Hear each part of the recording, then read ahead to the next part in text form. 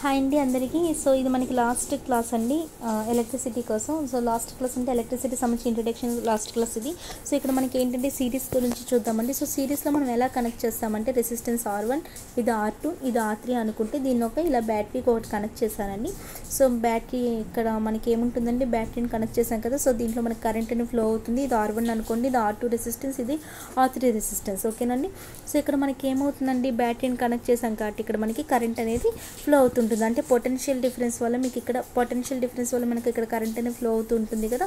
So ఇక్కడ మనకి ఏమవుతుందంటే కరెంట్ అనేది ఆర్ వన్ దగ్గర సపోజ్ కరెంట్ ఫ్లో అవుతున్నప్పుడు ఆర్ వన్ దగ్గర ఏమైనా స్టోర్ చేసుకుంటుందంట. అంటే ఆర్ వన్ దగ్గరికి వెళ్ళినప్పుడు కొద్దిగా కరెంట్ తక్కువగా ఉండడం ఆర్ టూ దగ్గరికి వెళ్ళాక ఇంకొద్ది కరెంట్ తగ్గించుకోవడం ఆర్ టూ దగ్గరికి వెళ్ళాక ఇంకొద్ది కరెంట్ తగ్గించడం ఇలా ఏమైనా జరుగుతుందా? కరెంట్ అనేది ఎలా ఉంటుందని మనం చూద్దామండి. సో దీనికోసం ఒక ఎగ్జాంపుల్ తీసుకుంటే సపోజ్ చూడండి ఒక పైప్ ఉంది ఇటు నుండి ఏ నుండి మనం ఇలా వాటర్ని ఇలా పంపించినప్పుడు బి అనే పాయింట్ నుండి ఇలా మనకి వాటర్ ఎంత అమౌంట్ ఆఫ్ వాటర్ పంపిస్తే అంతే అమౌంట్ ఆఫ్ వాటర్ సేమ్ వచ్చేస్తుంది. ఎందుకంటే ఒకటేలా ఉంది కాబట్టి పైప్ అంతా మనకి అమౌంట్ ఆఫ్ వాటర్ కూడా ఈక్వల్గా వస్తుంది కదా. ఏ నుండి ఎంత పంపించే బి నుండి అంతే వస్తుంది. ఇప్పుడు అలా కాకుండా పైప్ వేరేగా ఉందండి సపోజ్. ఇలా ఉందనుకుందాం. ఇక్కడ ఏముందండి? ఇది మనకి ఒక లైక్ నారో పైప్ కదండి ఇక్కడ సన్నంగా ఉంది కదా. సో ఇక్కడ ఏమంటే ఇప్పుడు వాటర్ ఇలా పంపించినప్పుడు ఇక్కడ ఏమవుతుందండి? వాటర్ తన యొక్క స్పీడ్ని తగ్గించుకుంటుంది. But same amount of water మనకి బయటకు వస్తుంది కదా. అంతే కదా మీరు అబ్జర్వ్ చేసే ఉంటారు.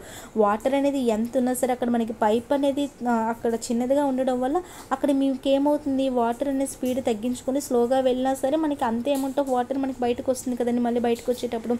ఇలానే అంటే వాటర్ అనేది ఇక్కడ మీకు ఎలా స్టోర్ కావట్లేదో ఇందాక చూ చూపించా కదండి resistance R one R two R three so R one R two R three దగ్గర కూడా మీకు అక్కడ కరెంట్ని తన దగ్గర స్టోర్ చేసుకోదండి. సపోజ్ నా దగ్గర ఫైవ్ ఎలక్ట్రాన్స్ ఉన్నాయి నేను రెసిస్టెన్స్కి ఫైవ్ ఎలక్ట్రాన్స్ ఇచ్చానంటే తన దగ్గర టూ ఎలక్ట్రాన్స్ ఉంచుకొని త్రీ బయటికి ఇవ్వడము లేదంటే త్రీ ఎలక్ట్రాన్స్ ఉంచుకొని టూ బయటికి ఇవ్వడము అలా ఏం చేయదు.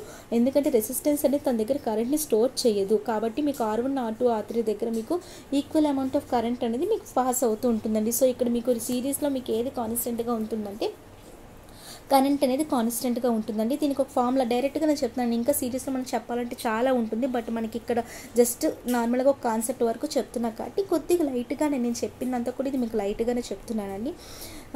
ఏంటి madam three three videos introduction ఇచ్చి ఇది మీరు లైట్గా అంటారని అనుకోకండి. ఇది నా విషయంలో ఇది చాలా తక్కువనే. సో మనకి పొటెన్షియల్ అంటే ఏంటండి? వి ఈక్వల్ టు ఐఆర్ ఫామ్లో మనం ఆల్రెడీ హోమ్స్లో నేర్చుకున్నాం. ఇక్కడ మనం వి వన్ అంటే ఎంత రాసుకోవచ్చు అండి మీకు కరెంట్ అనేది కాన్స్టెంట్ ఉంటుందండి సిరీస్లో I one R IR one అని రాసుకోవచ్చు కదండి?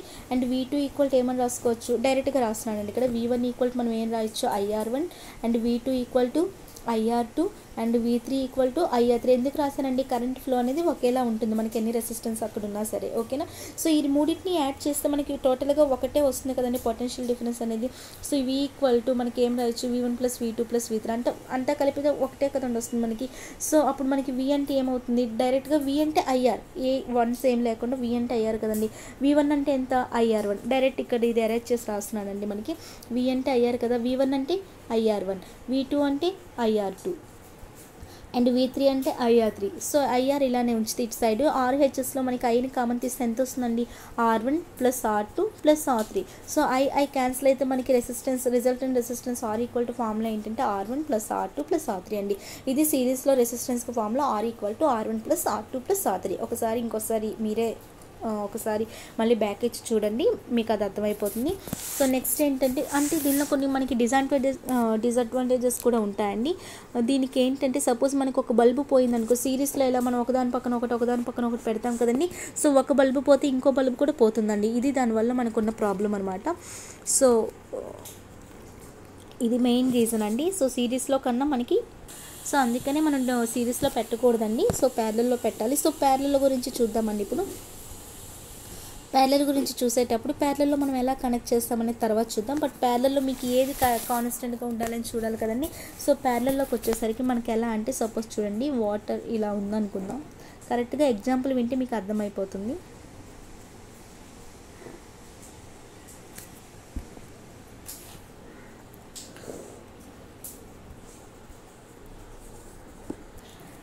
సో నెక్స్ట్ వన్ ఎవరు అంటే మనకి calculation of heat generated in a conductor అనమాట సో ఒక కండక్టర్లో మనకి హీట్ అనేది జనరేట్ జనరేట్ అవుతుంది. దాన్ని ఎలా మనం క్యాలిక్యులేషన్ చేస్తామని చెప్పి సపోజ్ చూడండి ఫోన్ ఛార్జింగ్ పెట్టాను. ఛార్జింగ్ పెట్టిన తర్వాత మనకి ఏమవుతుందండి? జస్ట్ వన్ సెకండ్కి అలా అయితే మనకి ఏమంతా హీట్ అనిపించదు కదా. బట్ కొంత టైం తర్వాత చూస్తే మీకు అది హీట్ అవుతున్నట్లు హీట్ అవుతుంది కదండి. మనం టచ్ చేస్తే మనకు ఫీల్ తెలుస్తుంది హీట్ అయింది అని చెప్పి. సపోజ్ ల్యాప్టాప్ ఉంది. కొంత టైం ఛార్జింగ్ పెట్టాక లేదంటే యూజ్ చేసినా సరే అది హీట్ అవుతూ ఉంటుంది కదండి. అంటే అది హీట్ అయింది కదా అని చెప్పి దాని మీద నేను కుక్కర్ పెట్టి ఆలును ఉడికించలేను అలా అని చెప్పి దాని మీద నేను ఎగ్ పెట్టి ఆమ్లెట్ కూడా వేసుకోలేను కదా?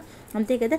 సో హీట్ని అక్కడ మనం యూటిలైజ్ చేయలేం కదండి. అంతే కదా? ఆ హీట్ని మనం యూటిలైజ్ చేయలేకపోతున్నాం. అంతే కదా? బట్ వాటి యూజ్ అనేది ఉందండి మనకి. ఎలా అంటే సపోజ్ ఐరన్ బాక్స్ ఉందండి. ఐరన్ బాక్స్ ఏంటి? అది కూడా మనకి క్లాత్కి హీట్ ఇస్తుంది. కానీ అక్కడ యూజ్ అనేది అవుతుంది కదండి. దాని మీద మనం వేరేగా యూటిలైజ్ చేయలేం కానీ బట్ వాటి నుండి మనకి యూజ్ ఉన్నాయి కదా.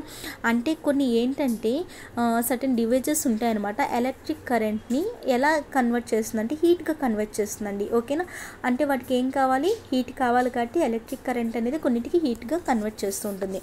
ఓకేనా సో వాటర్ అనేది హీట్ అవ్వాలంటే ఏం చేయాలండి? మనకి హీటర్స్ తెలుసు కదండి. సో కరెంట్ ఇస్తే అది హీట్ అవుతుందని తెలుసు సో ఫోన్ కానీ ల్యాప్టాప్ కానీ లేదంటే సపోజ్ రిఫ్రిజిరేటర్స్ కానీ ఏసీ కానీ ఇవన్నీ కూడా ఏమో ఏమవుతాయండి? కరెంట్ ఇస్తే అవి హీట్ వచ్చి వాటిని యూటిలైజ్ చేస్తున్నాం కదా. సో హీట్ ఎక్కడ నుండి వస్తుందండి మనకి? సపోజ్ మన టూ హ్యాండ్స్ యొక్క పామ్స్ని తీసుకొని రబ్ చేస్తే కూడా మనకి హీట్ వస్తుంది కదా. సపోజ్ క్లాప్స్ కొట్టండి క్లాప్స్ కొట్టి చూసినా సరే మీకు ఏమవుతుందండి కొద్దిసేపు క్లాప్స్ కొట్టి చూస్తే హీట్ అనేది ప్రొడ్యూస్ అవుతుంది. అంతే కదా? సో కొన్ని ఎలక్ట్రిక్ డివైజెస్లో మనకి ఏముంటాయంటే ఫ్రీ ఎలక్ట్రాన్స్ అనేవి ఉంటాయండి. ఓకేనా? సో వాటి మనసుకి ఏమనిపిస్తుందంటే మనం క్లాప్స్ కొడితే హీట్ ఎలా ప్రొడ్యూస్ అవుతుందో ఎలక్ట్రాన్స్ కూడా వాటి మనసుకు అనిపిస్తుంది అనమాట అదే నాకు కూడా క్లాప్స్ కొట్టాలి అని చెప్పి. ఓకేనా? కానీ వాటికి హ్యాండ్స్ లేవు కదండి. సో అవి క్లాపింగ్ ఎలా చేస్తే ఎలక్ట్రాన్స్ అనేవి అవి క్లాపింగ్ చేయలేవు కదా. సో వేరే ఫ్రీ ఎలక్ట్రాన్తో ఒక లైట్ అవుతుంది అర్థమవుతుందండి. మనం క్లాప్స్ కొడితే హీట్ అనేది ప్రొడ్యూస్ అవుతుంది. బట్ ఎలక్ట్రాన్స్ క్లాప్స్ కొట్టడానికి క్లాపింగ్ చేయడానికి వాటి దగ్గర హ్యాండ్స్ లేవు కాబట్టి ఒక ఎలక్ట్రాన్ వచ్చి వేరే ఎలక్ట్రాన్తో అనమాట ఒక ఎలక్ట్రాన్ వేరే ఎలక్ట్రాన్తో వచ్చి ఏమవుతాయంటే లైక్ కొలాయిడ్ కొలిజన్ జరుపుకుంటూ ఉంటాయి. సో దానివల్ల అక్కడ హీట్ ప్రొడ్యూస్ అవుతాయి. సో ఎలక్ట్రాన్స్ కొలిజన్ కొలిజన్ వల్ల మనకి ఎవరవుతారండి? ఎలక్ట్రాన్స్ యొక్క ఫ్లో కాంప్లికేట్ అవుతుంది మనం నేర్చుకున్నాం కదా. సో ఎలక్ట్రాన్స్ ఫ్లో కాంప్లికేట్ అవుతుంది అంటే ఇక్కడ కొలిజన్ వల్ల మీకు రెసిస్టెన్స్ అనేది వస్తుంది కదా. సో ఇక్కడ కొలిజన్స్ వల్ల మీకు ఇక్కడ రెసిస్టెన్స్ అనేది ఇంక్రీజ్ అవుతుంది మన అందరికీ ఆల్రెడీ తెలుసు కదండి. బట్ ఇక్కడ ఎలక్ట్రాన్స్ కొలిజన్ వల్ల మీకు ఎవరు వస్తున్నారు? హీట్ అనేది వస్తుంది. అంతే కదా. సో కొలిజన్ ఇంక్రీజ్ అయితే మనకి హీట్ అనేది ఇక్కడ ఇంక్రీజ్ అవుతుంది కదండి. ఎలక్ట్రాన్స్ అనే కొలిజన్ జరుపుకోవడం వల్ల హీట్ అనేది ప్రొడ్యూస్ అవుతుంది. సో కొలిజన్ ఎక్కువైతే హీట్ అనేది కూడా ఎక్కువ అవుతుంది. బట్ మనకి ముందు ఆల్రెడీ తెలుసు కొలిజన్ ఎక్కువైతే మనకి ఎవరు ఎక్కువ అవుతారని తెలుసు రెసిస్టెన్స్ అనేది ఎక్కువ అవుతుంది. సో కొలిజన్ ఎక్కువైతే హీట్ ఎక్కువ అవుతుంది కొలిజన్ ఎక్కువైతే రెసిస్టెన్స్ రెసిస్టెన్స్ అనేది ఎక్కువ అవుతుంది. కాబట్టి హీట్ రెసిస్టెన్స్ ఒకదానికో డైరెక్ట్లీ ప్రపోర్షనల్ అని చెప్పుకోవచ్చు కదండి. So heat is directly proportional to resistance అండి. ఇది ఒక ఫార్ములా. గుర్తుంచుకోండి ఇది ఒక ఈక్వేషన్. నేను అరేంజ్ చేస్తే మీరు గుర్తుంచుకోండి. Heat is directly proportional to resistance. ఎలా వచ్చిందో అర్థమైంది కదండి. సో ఎలక్ట్రాన్స్ అనే కొలిజన్ జరుపుకుంటే కొలిజన్ జరుపుకోవడం వల్ల హీట్ పెరుగుతుంది. సో కొలిజన్ వల్ల కొలిజన్ ఇంక్రీజ్ చేస్తే హీట్ ఇంక్రీజ్ అవుతుంది. బట్ మనం ఆల్రెడీ నేర్చుకున్నాం. కొలిజన్ ఇంక్రీజ్ చేస్తే మనకి రెసిస్టెన్స్ అనేది ఇంక్రీజ్ అవుతుంది. సో ఈ రెండింటి నుండి మన హీట్ అనేది డైరెక్ట్లీ ప్రొపోర్షనల్ టు రెసిస్టెన్స్ అని చెప్పుకోవచ్చు కదా? సో ఇది ఫస్ట్ ఈక్వేషన్ అండి. అండ్ సెకండ్ వన్ ఏంటంటే సపోజ్ చూడండి మీ ఫోన్ ఒక ఫైవ్ మినిట్స్ ఛార్జింగ్ పెట్టండి. హీట్ ప్రొడ్యూస్ కాదు. అంటే అవుతుంది బట్ మనం అంతా ఫీల్ కాము. అంతే కదా? బట్ టూ అవర్స్ తర్వాత చూస్తే మనకి హీట్ అనేది ప్రొడ్యూస్ అవుతుంది. మనం ఫీల్ అవుతాం కదండి? సో ఎక్కువ కరెంట్ సప్లై అవుతుంది కదండి? అంటే హీట్ ప్రొడ్యూస్ అవుతుంది కదా?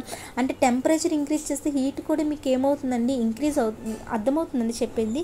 ఇప్పుడు టూ మినిట్స్ జస్ట్ మీరు ఒక ఫైవ్ మినిట్స్ ఛార్జింగ్ పెడితే మీకు అంత ఫీల్ హీట్ అనేది అంత మీకు అనిపించదు. బట్ టూ అవర్స్ లేదంటే త్రీ అవర్స్ ఫోర్ అవర్స్ అలా పెడితే మీకు అక్కడ హీట్ ప్రొడ్యూస్ అనే ఫీల్ అనేది మనకు అనిపిస్తుంది కదా. అంటే హీట్ ఇంక్రీజ్ చేస్తే టెంపరేచర్ కూడా ఏమవుతుంది? ఇంక్రీజ్ అవుతుంది. So heat is proportional to temperature కదండి. ఇది సెకండ్ ఈక్వేషన్ అనమాట ఓకేనా ఫస్ట్ వన్ మనకి heat is proportional to resistance and second one heat is proportional to temperature ఈ second one and third thing ఏంటి అంటే మనకి ఈ త్రీ థింగ్స్ గుర్తుంచుకో. థర్డ్ థింగ్ ఏంటంటే మనకి ఫ్లో ఇప్పుడు హీట్ హీట్ ఇచ్చామనుకోండి అంటే హీ అక్కడ ఎలక్ట్రాన్స్ అంటే ఇప్పుడు ఎలక్ట్రాన్స్ ఫ్లో అయ్యాయి అనుకోండి కరెంట్ అనేది ఏమవుతుంది? ఇంక్రీజ్ అవుతుంది. కరెంట్ అనేది ఇంక్రీజ్ అవుతే మనకి హీట్ కూడా ఇంక్రీజ్ అవుతుంది కదండి. అర్థమవుతుందా? కరెంట్ ఇంక్రీజ్ అయితే మనకి హీట్ కూడా ఇంక్రీజ్ అవుతుంది కదండి. So heat is directly proportional ఇక్కడ ఐ స్క్వేర్ అని చెప్తామండి కరెంట్కి ఓకేనా ఇక్కడ ఐ స్క్వేర్ అని చెప్తాం.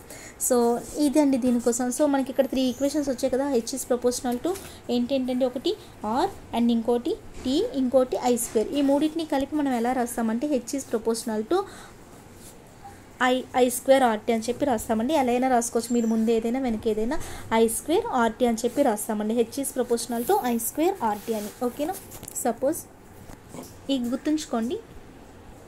అండ్ నెక్స్ట్ చూసుకుంటే సపోజ్ చూడండి నెక్స్ట్ మనందరికీ తెలుసు. అంటే ఇది గుర్తుంచుకోండి H is proportional to I square RT అని చెప్పి. అక్కడ అక్కడ ప్రొపోర్షనాలిటీస్ కాన్స్టెంట్ కూడా పెట్టుకోవచ్చు. డైరెక్ట్గా అక్కడ ఫామ్లో గుర్తుంచుకోండి హెచ్ ఈక్వల్ టు మనకి ఐ స్క్వేర్ ఆర్టీ అండ్ ఇంకోటి ఏంటంటే మనకి వర్క్ అనేది జరిగితే మనకి ఎనర్జీ అనేది వస్తుంది కదండి.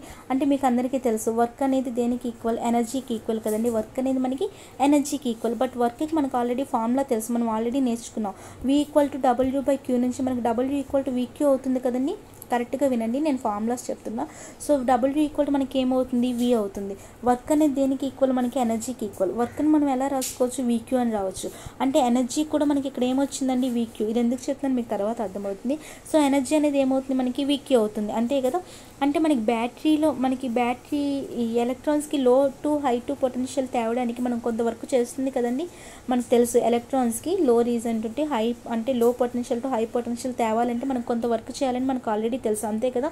సో బ్యాటరీ ఏం చేస్తుంది? ఎలక్ట్రాన్స్కి కొంత ఎనర్జీ ఇస్తుంది కదండి. బ్యాటరీకి తెలుసు. బ్యాటరీ అనేది ఏం చేస్తుందండి? ఎలక్ట్రాన్స్ని low potential to high potential తేవాలంటే అది కొంత వర్క్ అనేది చేయాలి. సో అది వర్క్ చేసిందంటే మీకు బ్యాటరీ అనేది ఎలక్ట్రాన్స్కి ఏమి ఇచ్చినట్టు కొంత ఎనర్జీని ఇచ్చినట్టే కదా. సో ఈ ఎనర్జీ ఎలక్ట్రాన్స్కి వెళ్ళాక అవి ఏం చేస్తున్నాయి? ఎలక్ట్రాన్స్ సో ఈ ఎలక్ట్రాన్స్ అనమాట ఈ ఎనర్జీని డిస్ట్రాయ్ చేయ మీకు మీకు ఆల్రెడీ తెలుసు. ఎనర్జీ అనేది మనం క్రియేట్ చేయలేము డిస్ట్రాయ్ చేయలేము. అది మీకు అందరికీ తెలుసు. సో ఈ ఎలక్ట్రాన్స్ అనమాట ఈ ఎనర్జీని ఎటువంటి డిస్ట్రాయ్ చేయలేవు. అయితే ఈ ఎలక్ట్రాన్స్ అనేవి ఈ ఎనర్జీని హీట్ ఫామ్లో బయటకి ఇస్తాయండి. అర్థమవుతుందో చెప్పింది? ఇక్కడ మనకి ఏంటి వర్క్ అనేది మనకి ఎనర్జీకి ఈక్వల్ మన అందరికీ తెలుసు వర్క్ ఎనర్జీ ఒకటే అని చెప్పి. సో ఇక్కడ వర్క్ అంటే మనకి ఏంటి VQ VQ equal to energy అనేది ఒకటి గుర్తుంచుకోండి. కాసేపు దీన్ని పక్కన పెట్టండి. నెక్స్ట్ ఏంటి? ఇక్కడ మనం బ్యాటరీకి ఏదైనా కనెక్ట్ చేసినప్పుడు అక్కడ మనకి బ్యాటరీ అనమాట ఏం చేస్తుంది? ఎలక్ట్రాన్స్కి లో రీజ్లో పొటెన్షియల్ టు హై పొటెన్షియల్ తేవాలంటే బ్యాటరీ అనేది అక్కడ కొంత వర్క్ చేస్తుంది. సో బ్యాటరీ అనేది వర్క్ చేస్తుంటే ఎనర్జీ ఎలక్ట్రాన్స్ కొంత ఎనర్జీ ఇచ్చినట్టే కదండి. సో ఈ ఎనర్జీ ఎలక్ట్రాన్స్ వెళ్ళాక ఏం చేస్తుంది? ఈ ఎలక్ట్రాన్స్ అనమాట ఈ ఎనర్జీని హీట్ ఫామ్లో బయటికి తెస్తాయండి. అర్థమవుతుందా? సో మీకు ఆల్రెడీ తెలుసు. మీకు ఇప్పుడు ఏం చెప్పానండి? వర్క్ అనేది ఈక్వల్ టు మనకి ఎనర్జీ కదండి. వర్క్ అనేది that is equal to energy and ఇదే దేనికి ఈక్వల్ అండి మనం ఇందాకే చూసాం. వర్క్ అనే వర్క్ ఫామ్లో ఏంటండి మనకి పొటెన్షియల్ నుండి నేర్చుకున్నాం. V equal to W by Q అయినప్పుడు డబ్ల్యూ ఈక్వల్ టు వీక్యూ కదండి. So W equal to VQ అంటే అర్థం ఏంటి? ఎనర్జీ కూడా వీక్యూ అనే కదండి మీనింగ్ ఇక్కడ. So energy equal to VQ అంతే కదండి? సో ఈ ఎనర్జీ మనకి ఏ ఫామ్లో మనకి బయటకు వస్తుందండి? ఎనర్జీ అంటే వీక్యూ ఈ వీక్యూ అనేది మనకి ఏ ఫామ్లో వస్తుందండి? హీట్ ఫామ్లో అంటే హెచ్ అనుకోండి. అంతే కదా? So H equal to VQ అనే కదండి అర్థం? రిలేషన్ గుర్తు అర్థమవుతుందండి? సో హెచ్ ఈక్వల్ టు మనకి వీక్యూ అని అర్థం. కానీ మనకి హెచ్ ఈక్వల్ టు మనం already H equal to VQ కదండి? సో వీక్యూని పక్కన పెడితే వి అంటే ఏంటి? మనకి ఐఆర్ అని రాసుకోవచ్చు కదా? మనం ఓమ్స్ లా నుండి నేర్చుకున్నాం. V equal to IR and Q కూడా మనం నేర్చుకున్నామండి. I equal to Q by T అని చెప్పి నేను కరెంట్కి ఫామ్లో చెప్పాను. సో క్యూ ఈక్వల్ టు మనం ఐటీ అని రాసుకోవచ్చు కదండి? So Q equal to IT so దాన్ని బట్టి క్యూ ఈక్వల్ టు ఐటీ అని రాసుకుంటే I into I I square RT so ఇలా వచ్చిందండి మనకి హెచ్ ఫామ్లో ఐ స్క్వేర్ ఆర్టీ అని జస్ట్ నీకు ప్రూఫ్ చెప్పడానికి చెప్పానండి. ఈ ప్రూఫ్ మీకు అవసరం లేదు. జస్ట్ ఫామ్లో గుర్తుంచుకొని బట్ కాన్సెప్ట్ అర్థం అవ్వాలంటే ఇది గుర్తుంచుకోండి థీరీని so H equal to I square RT అనేది మనకి ఇలా వస్తుంది. అండ్ లాస్ట్ వన్ అండి ఈ టాపిక్కి మనకి టోటల్ ఎలక్ట్రిసిటీకి లాస్ట్ థింగ్ ఏంటంటే మనకి ఎలక్ట్రిక్ పవర్ అనమాట సో పవర్ అంటే మనం దేంతో రిప్రజెంట్ చేస్తామంటే పీతో రిప్రజెంట్ చేస్తామంటే అంటే ఏదైనా కరెంట్లో పర్ యూనిట్ టైంలో ఎంత ఎలక్ట్రిక్ కరెంట్ అనేది uh, కన్జ్యూమ్ అవుతుందని చెప్పేది పవర్ అండి. పవర్ అంటే ఏంటండి? పవర్కి అసలు ఫార్ములా ఏంటంటే e ఈ బై టీ అనమాట ఈ e అంటే అంటే ఇక్కడ ఏంటంటే ఏదైనా ఒక సర్క్యూట్లో అనమాట ఏదైనా సర్క్యూట్లో పర్ యూనిట్ టైంలో అండి. యూనిట్ టైంకి ఎంత ఎలక్ట్రిక్ కరెంట్ కన్జ్యూమ్ అవుతుంది అని చెప్పేది మనకి ఏంటంటే పవర్ అనమాట ఓకేనా? పవర్. పవర్ని దేంతో రిప్రజెంట్ చేస్తామంటే పీతో రిప్రజెంట్ చేస్తామండి. పీ అంటే ఏంటంటే e ఈ బై టీ అనమాట ఓకేనా? ఈ అంటే ఏంటంటే మనకి ఇంకోలా కూడా చెప్పొచ్చు. ఈ అంటే ఏంటంటే మనకి అక్కడ ఎనర్జీ ఆర్ వర్క్ డన్ అనమాట వర్క్ డన్ అనమాట ఓకేనా? ఈ అంటే మనం ఎనర్జీ అని రాయొచ్చు. లేదంటే వర్క్ డన్ బై టీ అని చెప్పాను టీ అని చెప్పైనా రాయొచ్చండి. ఓకేనా? సో ఈ ఫామ్లో గుర్తుంచుకోండి. ఇప్పుడు మనకి పి అంటే ఏంటండి? ఫస్ట్ ఈక్వే ఫస్ట్ అంటే పవర్కి ఇక్కడ మనకి ఫోర్ ఈక్వేషన్స్ వస్తాయండి. ఫోర్ ఫార్ములాస్ మీరు గుర్తుంచుకోవాలి. ఎందుకంటే ఒక్కొక్క ప్రాబ్లంలో మనం ఒక్కొక్కటి యూజ్ చేస్తాం. సో ఫస్ట్ ఫార్ములా ఏంటంటే P equal to E by T ఇది ఒరిజినల్ ఫార్ములా మనకి పవర్ అంటే. లేదు అంటే ఇంకోలా కూడా రాయొచ్చు. ఇది ఈ e అంటే ఎనర్జీ కదండి. ఎనర్జీని మనం వర్క్ డన్ బై టీ అని కూడా రాయొచ్చు కదండి. ఇది ఒక ఫార్ములా స్క్రీన్ షాట్ తీసుకోండి. ఎందుకంటే దీంతో మళ్ళీ మనకి పని ఉండదు. సో ఇది ఒక ఫార్ములా అండి. ఓకేనా నెక్స్ట్ నెక్స్ట్ ఏంటి అంటే అండ్ ఇదే పీ ఈక్వల్ టు మనకి ఈ వర్క్ డన్ మనకి ఎలా ఉండొచ్చండి? మనకు ఆల్రెడీ తెలుసు. మనకి ఇది హీట్ రూపంలో ఆల్రెడీ ప్రొడ్యూస్ అవుతుంది కదండి. సో డైరెక్ట్గా P equal to H by T అని కూడా రాసుకోవచ్చు కదండి. హెచ్ అంటే ఏంటి మళ్ళీ రాసుకోవచ్చు? మనం ఐఆర్ స్క్వేర్ టీ అని రాసుకోవచ్చు కదా. So IR square by T అంటే టీటీ క్యాన్సిల్ అయిపోతే మళ్ళీ మనకి పీ ఈక్వల్ టు ఏం ఫామ్లో వచ్చిందని ఇంకోటి ఐఆర్ స్క్వేర్ ఆర్ ఇది సెకండ్ ఫామ్లో అండి పీ ఈక్వల్ టు ఫస్ట్ ఫామ్లో మనకి P equal T by T that equal to work done by time T అది ఒకటి గుర్తుంచుకోండి. అది ఒక first formula for P and second one మనకి P equal to I square R అనేది సెకండ్ ఫార్ములా అండి. అండ్ థర్డ్ ఫార్ములా ఏంటంటే చూడండి. మనకి P equal to I square R నుండి మళ్ళీ రాబడతాం మనం. ఎలా అంటే మనకు తెలుసు వి ఈక్వల్ టు ఏమని తెలుసు? ఐఆర్ అని తెలుసు కదండి. ఓమ్స్లా నుండి మనకి వి ఈక్వల్ టు ఐఆర్ కాబట్టి ఐ స్క్వేర్ ఇంటూ ఇక్కడ ఆర్కి బదులుగా మనం ఏమని రాయొచ్చండి? ఆర్కి బదులుగా వి బై ఐ అని రాయొచ్చు కదా. సో ఆర్కి చూడండి ఎలా ఎలా రాబడుతున్నాను ఆర్కి బదులుగా వి బై అని రాసుకుంటే ఐఐ క్యాన్సిల్ అయిపోతే మనకి వి ఈక్వల్ టు ఏమొచ్చిందండి? విఐ ఇది ఒక థర్డ్ ఫార్ములా అండి. పవర్కి పవర్కి ఫోర్ ఫార్ములాస్ ఉంటాయి మన ప్రాబ్లమ్స్లో ఇచ్చేసి ఒకటి ఈ బై టీ ఇంకోటి P equal to I square already already చూసాం. ఇది ఒక second formula and third formula దీని నుండే మళ్ళీ రాబట్టాం మనం. వి ఈక్వల్ టు ఐ అని తీసుకున్నాం. అంటే ఆర్కి బదులుగా మనం ఇక్కడ సబ్స్టిట్యూట్ చేసాం వి అయిన అప్పుడు క్యాన్సిల్ చేసుకుంటే మీకు వి విఐ వస్తుంది. ఈ థర్డ్ ఫార్ములా అండ్ ఫోర్త్ ఫామ్లో ఏంటంటే ఇప్పుడు విఐని తీసుకున్నామండి. థర్డ్ ఫామ్లో నుండి మళ్ళీ ఫోర్త్ ఇంకోటి రాబడుతున్నాం P equal to VI so V into మనకు ఆల్రెడీ తెలుసు కదా. ఏమని తెలుసు మనకి? ఓమ్స్లా నుండి వి ఈక్వల్ టు ఐఆర్ అని తెలుసు కదండి. So V equal to IR తెలిసినప్పుడు మనం ఐ ఈక్వల్ టు ఏమని రాయొచ్చు? వి బై ఆర్ అని రాయొచ్చు కదండి. So I equal to V by R అంటే దీన్ని బట్టి మీకు పి ఈక్వల్ టు ఇంకో ఫామ్లో ఏమొచ్చిందండి? వి స్క్వేర్ బై ఆర్ ఈ ఫోర్ ఫార్ములాస్ గుర్తుంచుకోండి. మనం ఎక్కడ ఏం యూజ్ చేస్తాం మనకు తెలియదు అక్కడ సిచ్యువేషన్ బట్టి యూజ్ చేస్తాం ప్రాబ్లంలో so P equal to V square by R ఒకటి. సో ఓకే కదండి? సో ఫస్ట్ వన్ మీకు అర్థమైంది అనుకుంటా. సో ఫస్ట్ వన్ మనకి work done by T and second one P equal to IR square and third one P equal to VI and fourth one P equal to V square by R ఈ four formulas గుర్తుంచుకోండి. And next one మనకి యూనిట్స్కి వచ్చేసరికి మనకి పవర్కి units ఏంటంటే what అంటామండి. Represent వచ్చి మనం డబ్ల్యూతో రిప్రజెంట్ చేస్తాము. And one watt equal to మనకి దేనికి ఈక్వల్ అంటే వన్ వోల్ట్ ఇంటూ వన్ ఆంపియర్కి అండి ఓకేనా one watt equal to one volt into one ఆంపియర్కి equal ఓకేనండి సో ఇది దీనికోసము. అండ్ పవర్ ఈక్వల్ టు మనకి ఫస్ట్ ఫామ్లో చెప్పాను మీకు energy by E by T కదండి. సో ఈ అంటే ఏంటి? ఎనర్జీ ఎనర్జీకి మనకి యూనిట్స్ ఏంటండి? Joule per second and peak units ఏంటండి? వాట్ ఇలా కూడా మనం చెప్పొచ్చు. One watt equal to one joule per second అండి. ఓకేనా one watt equal to one joule watt అన్న వాట్ అనేది లేదంటే జౌల్ పర్ సెకండ్ ఏదైనా తీసుకోవచ్చు. ఓకేనా ఇది దీనికోసం అండి అండ్ ఇక్కడితో ఇది అయిపోయింది మనకి. అండ్ స్మాల్ ఒక వన్ థింగ్ వినండి. సపోజ్ నా దగ్గర ఒక ట్యూబ్ లైట్ ఉందనుకుంటా ట్యూబ్ లైట్ యొక్క పవర్ సపోజ్ ఫిఫ్టీ వాట్స్ అని అనుకోండి. ఓకేనా? అంటే ఫిఫ్టీ ఫిఫ్టీ వాట్స్ అంటే మీనింగ్ ఏంటండి? ఫిఫ్టీ వాట్స్ అంటే మనకి ఫిఫ్టీ జౌల్ పర్ సెకండ్ అనే కదా అర్థం. ఎందుకంటే ఫిఫ్టీ జౌల్ పర్ సెకండ్ అని అర్థం? మీకు ఆల్రెడీ చెప్పాను. వాట్ అన్న జౌల్ పర్ సెకండ్ అన్న ఒకటే. వన్ వాట్ అంటే వన్ జౌల్ పర్ సెకండ్. అలాంటిది ఫిఫ్టీ వాట్ వాట్ అంటే ఫిఫ్టీ జౌల్ పర్ సెకండ్ అనే కదా అర్థం. సో నా దగ్గర ఫిఫ్టీ వాట్ ట్యూబ్లైట్ ఉంది. So fifty watt tube lights అంటే అంటే అర్థం ఏంటి? Fifty joule per so one second అనే కదండి అర్థం. అంటే యూనిట్ టైంలోనే కదా? సో ఇది మనకి చేంజ్ అవ్వదు. అంతే కదండి? సో వన్ సెకండ్ టైంకి అంటే ఇక్కడ మనకి ఏమవుతుందండి? వన్ సెకండ్కి మనకి ఇక్కడ ఎంత అండి? వన్ సెకండ్కి ఫిఫ్టీ జౌల్స్ అనే కదా అర్థం. దీన్నే తీసుకోండి. వన్ సెకండ్కి మనకి ఎంత ఎనర్జీని యూటిలైజ్ కన్జ్యూమ్ చేస్తుంది tube light? Fifty joules energy కదండి.